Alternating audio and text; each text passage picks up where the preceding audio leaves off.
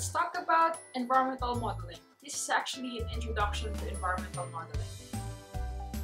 So what do we mean by environmental modeling? When modeling comes into your mind, when modeling comes into your mind, I'm quite sure it would look like somebody posing or somebody is taking a picture of a certain person with a camera. Maybe. But actually, environmental modeling looks like this. So in environmental modeling or in modeling, we tend to have four levels. We have lump model in which we only have one parameter that would map out a certain area or a certain place or a certain ecosystem.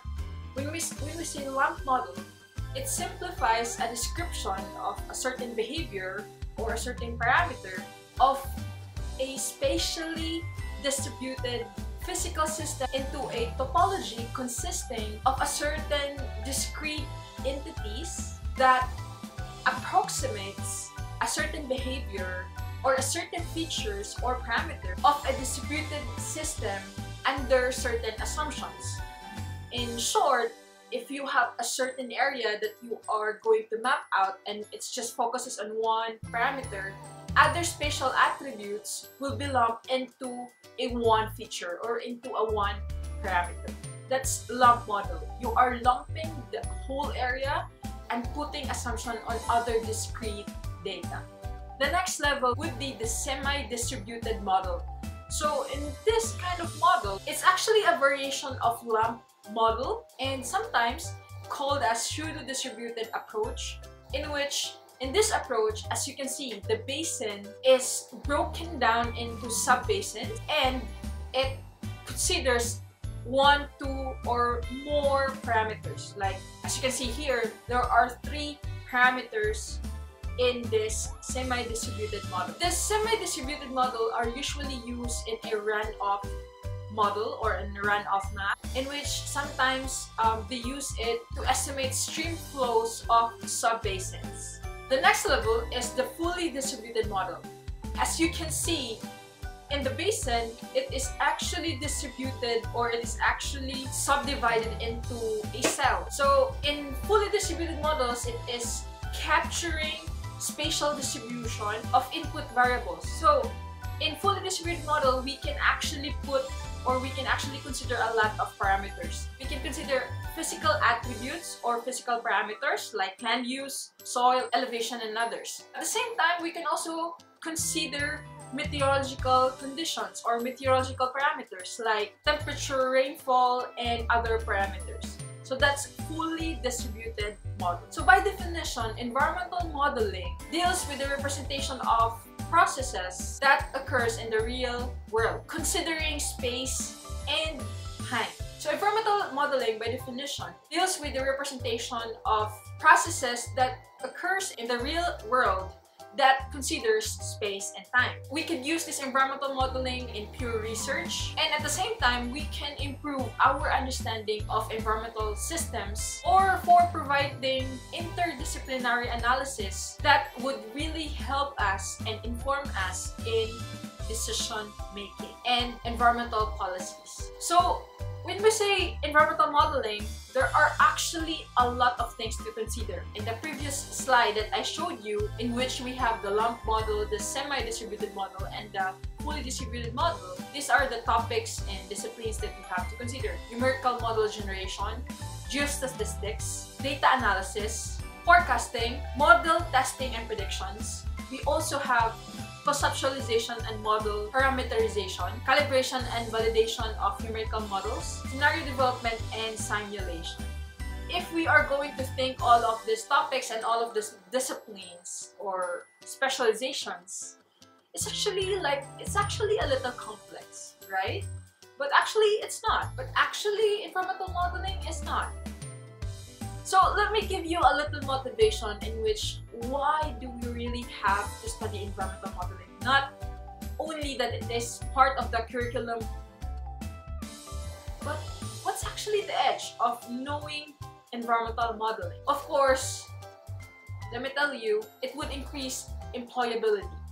Let me give you an example. It is an edge if you know how to create a topographic map. Also, it is an edge if the job description is asking that you should know how to use QGIS or GIS or ArcView and how to prepare a map, um, how to analyze data from the map, and of course, how to use modeling and how to prepare a report out from that. If somebody is applying with a master's degree and you with a college degree, but the job description is asking you that you should know QGIS or you should know how to create maps using GIS, I think that would be a great edge. Also, if somebody is trying to find um, who know how to use QGIS type mapping and geostatistical methodologies, then that would really be an edge. Alright, let's go now to applied methods in environmental science. There is actually three main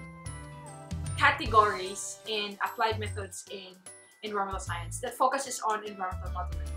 So first off is environmental statistics or statistical programming. Second is environmental geographic information systems. And the third one is environmental modeling.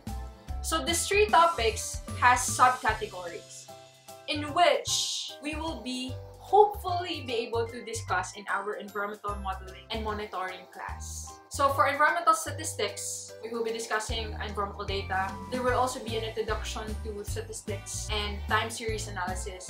So this is actually just a basic statistics with time series it will be easy for sure. At the same time, we will be having or we will be discussing spatial statistics or geostatistics and of course data analysis and presentation tools. Under the second category or the environmental geographic information systems, we will be discussing spatial data, type and structures. We will also be discussing spatial databases and of course how to use them. Of course, we will be discussing grid-based digital terrain analysis and of course GIS for hydrological modeling. And the third category is environmental modeling uh, we will be discussing modeling in environmental context, model types and model building, model procedures, calibration and validation techniques, uh, scenario techniques, and of course, model uncertainties. Let me give you an example of, of a map in which this is actually the application of environmental modeling.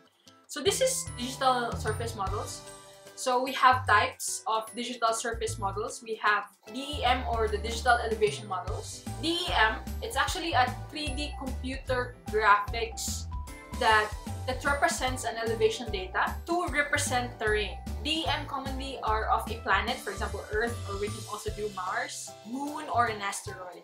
So when we say global DEM or global digital elevation model, um, it actually refers to a discrete global grid. So that's DEM. Next type of digital surface models is DSM or digital surface model.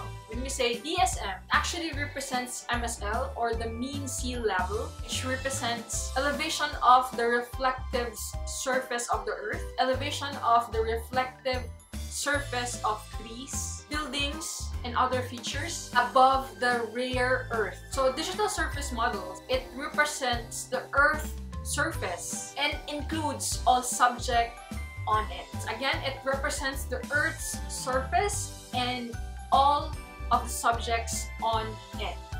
All of the objects on it. The last one is actually DTM or the Digital Terrain Model. It's actually a DEM in which terrain data has been further enhanced into break lines, that would create a better accuracy as it contains additional information when it comes to defining terrain in areas with a LiDAR data and areas where LiDAR data alone is unable to do the job effectively.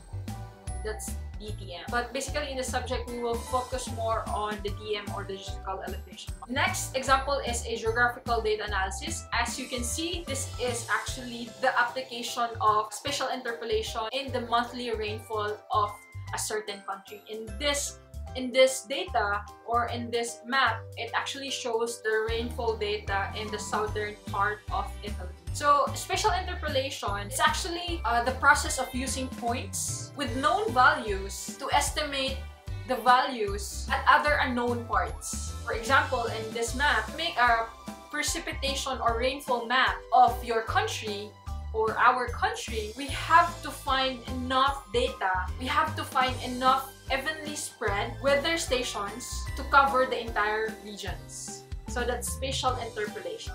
We can interpolate the other areas with a certain calculation of rainfall if it does not have any rainfall data. Next example would be numerical modeling. So in this case, they are actually analyzing the shoreline modification or natural changes by using numerical modeling.